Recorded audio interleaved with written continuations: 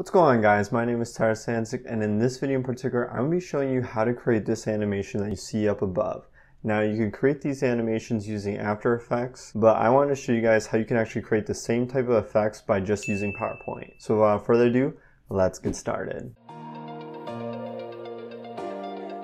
Alright, so what I'm first going to do is I'm going to show you guys the animation in presentation mode and then I'm going to break it piece by piece to you all the different objects I use to create this animation and then how to animate each one of those objects. So as you see here on the first line, if I just do Control A, it'll highlight all these different objects here. Now there's a lot going on here, so I'm going to unclick all these and this line and then you'll see these objects here. I'm going to change the color and I'm going to make them a darker green. So these are actually blocks so that when an animation is trying to disappear from the screen, it just disappears within the background. It's kind of like an illusion effect. And another thing that you want to do before even starting this animation is right click, format background, go here to the paint bucket, go to more colors, and click on this green color right here. And that will just make your background a green screen effect so then the next part is breaking down each one of these objects. So the first object I had here was this line object. If I copy and paste this just for you guys to see, in order to create this line object, all you have to do is go to Insert,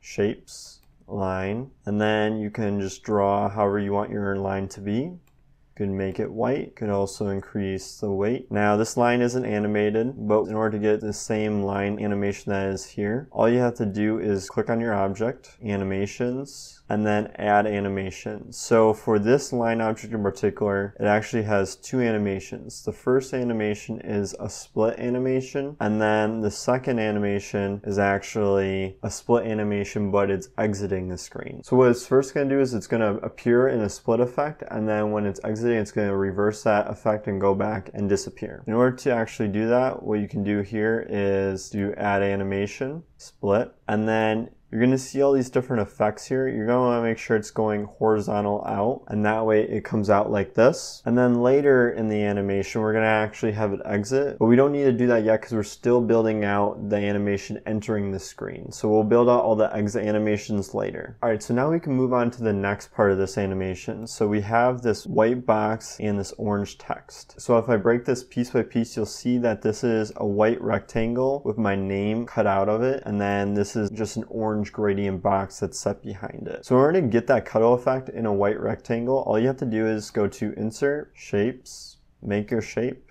So I made that shape, can make it white, no outline. And then to get the text, you can go to Insert, Text Box, and we can just make up a name like Andrew Johnson. Now we can make that text bigger. Can also put it on top. And now what I use for this one, I use the font Lato. So if you want to use that same font, just here, Lato Black. All right, so now I have it lined up. So in order to get the cutout effect, what you have to do is you have to click on the text and the box. Go here to Format, Merge Shapes then you can do fragment. All right, so now what that did was it used the text as a cutout for that rectangle shape. And what you can do is you, you can highlight all this and delete it. But what you want to also make sure is, is that you don't delete those inner circles for these shapes right here. So what you can do is you can click on those inner shapes, click on the rectangle as a whole, move it away, and now group it by Control G you can just delete this and now you have your cutout of a box. And if you want to be back to white, what you can do here is go to format, shape fill, white, and now you have your cutout. And also while you're doing this, make sure that the rectangle is the right size that you want because if you are wanting to alter the sizing of it, it's going to distort the actual words. Next, what I did to get this gradient, all I did was go to insert, shapes, right click on it, format shape, gradient, and then I just made a couple of custom colors. So you can choose like different oranges here. So that's kind of how I made it. Obviously it's not identical to this one, but that's how you can make a gradient in there. And then you can get rid of the line. And then once you're happy with the color you have for that gradient box, you then can just put it behind the text, and then there you go. You have your two objects. So you're gonna wanna make sure that those two objects aren't actually grouped because what happens is this cutout is gonna come in from the left to the right, and then this gradient orange box is actually coming from the top to the bottom like this. All right, so for this white box, what we're gonna do here is you'll see here that actually has a appear animation, and then it also has a line animation. So what I did here was go here up to here, and then go down to here to lines. And make sure that you're always clicking on this drop down add animation option and not doing the drop down because if you click somewhere here, it's going to only apply one animation to the object. But if you click on this drop down, it'll let you add as many animations as you want to the same object. Now, as you can see here, I have this appear and I have this line. I always just automatically do with previous just to start. And then what you can do is you can actually change the direction of this animation. So if you click on line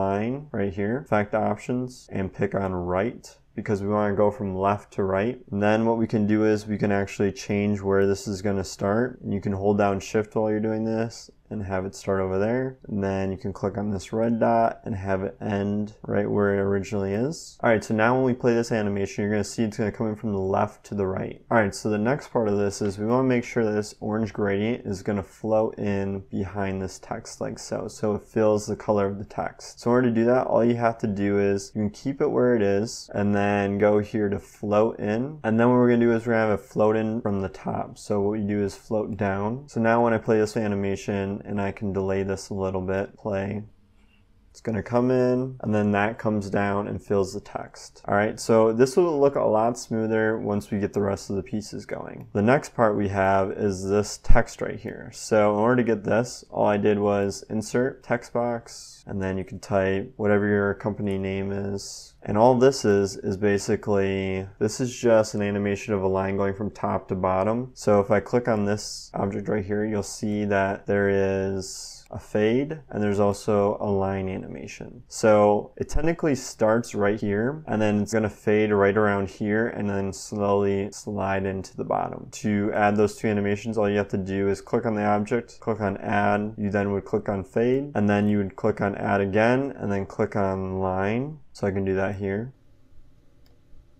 And then you're gonna wanna change this green dot start a little above it and then click on this red dot and hold down shift while you're doing this and have it end where it originally is. All right, you can do with previous, with previous, and then you could actually a little bit of delay. So now when I play this, it's gonna slowly fade into the movement of that animation. Now we have this line, we have the white cutout template, we have that orange box that's up behind it, and we have this text. Now, how do we get this all together? So what I did here was, for this line, I made sure that it had a split with a duration of 0.75 seconds. Next, what I have is, is I have this white cutout template coming in, and it's actually going to be coming in with a delay of 0.15 seconds. And you can actually type in here exactly how many seconds you want. Then what I did was I added that second animation when I went to lines. And for this animation, I have a duration of two seconds and a delay of 0.15 seconds because I want these two to start at the same time. All right. Another thing I did was with this line animation is if you go into effect options, I added a smooth end because I want it to come in really fast, but then slowly ease in as it comes into the screen. All right, next what I did was I have the orange box. I added first this float in animation. So it stays right here as the visual, but then when the animation starts, it's gonna start up here and slowly come in. So when you watch this, just floats in like so. All right, so the next part of this was then this text. So for these two animations, what we have is first is a fade and then a line. And this line animation, if you see here, it's actually moving the object before it actually appears and it's gonna fade in towards the end of that line animation.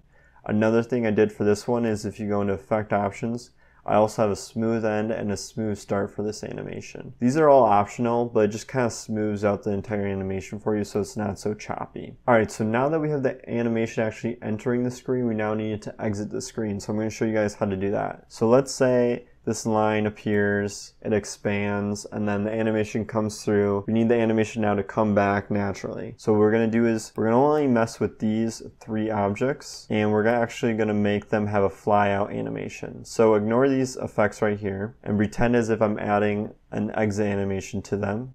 You're going to do a fly out exit and you actually have it pointed to the left. So now it appeared and now it's going to go back and disappear. And so that's what we have right here. And what I did was I have a duration of one second and a delay of one second. So this entire animation happens, you wait one second, and then the entire animation will go back and disappear. Now for this straight line, this is a different exit animation that I want to add because it came out like this as a split effect, and now I want to split back and disappear. So in order to do that, all you have to do is click on that line, click on add animation, do a split by clicking on this. You'll get this right here, and you're going to make sure you delay it as 1.75 seconds and a duration of 0.5 seconds. And you're going to make sure it has horizontal in. So for the entrance animation, we actually had it doing a horizontal out, but for this one, now it's going to come back in. All right, so now when I play this all, you'll see that text box comes in, pops down, goes back in, and then the line closes. All right, so now you're probably wondering why we have those random green boxes on the screen. So that actually will hide the animation from coming into the screen and exiting it. And I'll show you exactly what I mean by that. So if I move move these out of the way and move them here and then play it,